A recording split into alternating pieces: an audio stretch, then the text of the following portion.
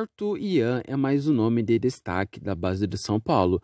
O zagueiro de 18 anos assinou o primeiro contrato profissional com o clube. O novo contrato do jovem vai até janeiro de 2025 com multa rescisória estipulada em 50 milhões de euros para clubes do exterior. Só de estar no São Paulo já é uma oportunidade muito grande para mim, um clube que tem no seu DNA revelar grandes jogadores. Fico muito feliz pela confiança que o clube tem em mim. Estou focado aqui e sei do meu potencial, disse. Arthur chegou ao São Paulo em 2019 para jogar no Sub-15 do clube. Em 2021, o jogador foi promovido ao Sub-17, onde ficou até ser relacionado para o Sub-20 pela primeira vez no ano passado. Nessa temporada, pelo Paulistão Sub-20, o jogador defendeu o São Paulo em cinco jogos das dez rodadas da primeira fase.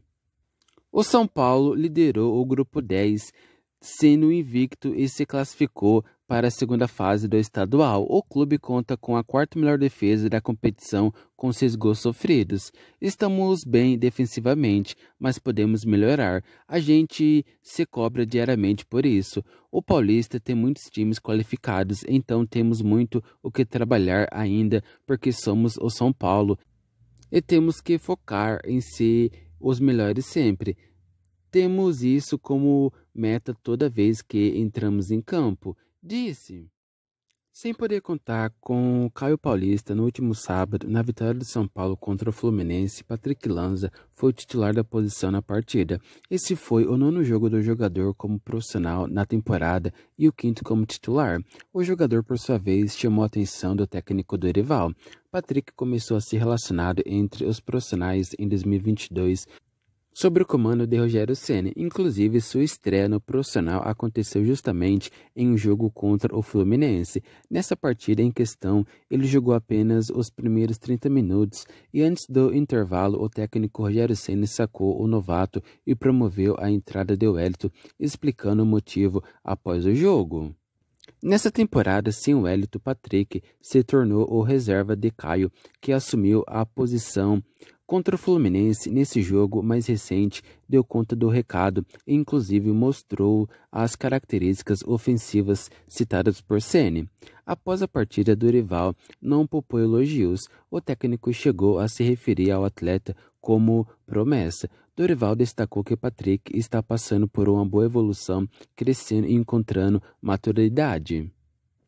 Com exceção da primeira partida contra o América Mineiro, nas demais partidas, o Patrick cresceu demais, encontrou uma maturidade, marcou um dos principais atacantes do Brasileirão, não lhe deu espaço, não permitiu nenhuma ação estava sempre presente, encurtou espaços, obrigando e criando um desconforto para o Arias, que tem uma facilidade, uma mobilidade impressionante. Disse, porém, sobre o futuro do atleta, destacou que é importante ter calma e tranquilidade, muito pelo que o jogador está ganhando maturidade e demonstrando cada vez mais potencial. É um garoto que promete muito, temos que ter calma, tranquilidade, está ganhando maturidade, está ganhando confiança para poder jogar, também chegando por trás, fazendo jogadas de fundo. Tudo é questão de tempo e de ele manter essa condição que ele vem apresentando. É bem jovem e já demonstra um potencial desses, é animador. Finalizou.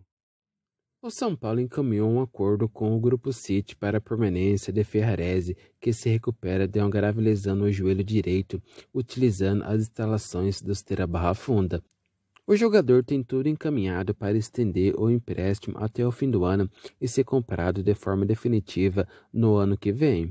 A informação foi publicada inicialmente pelo jornalista Jorge Nicola e confirmada pelo Lance. O acordo com o City prevê o início do pagamento parcelado em três anos por 80% dos direitos econômicos de Ferrarese em janeiro. Os valores não foram revelados.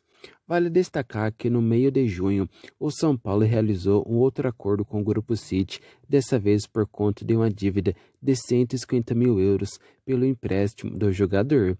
Essa resolução permitiu que o São Paulo avançasse na permanência em definitivo de Ferrarese. O jogador está afastado dos gramados desde o dia 22 de janeiro, quando sofreu uma ruptura no ligamento cruzado anterior do joelho direito e teve que passar por uma cirurgia. A lesão aconteceu em duelo contra o Palmeiras no Allianz Parque. De lá para cá, Ferrarese vem sendo ativo nas redes sociais, muitas vezes fazendo juras de amor ao São Paulo e cantando músicas do clube.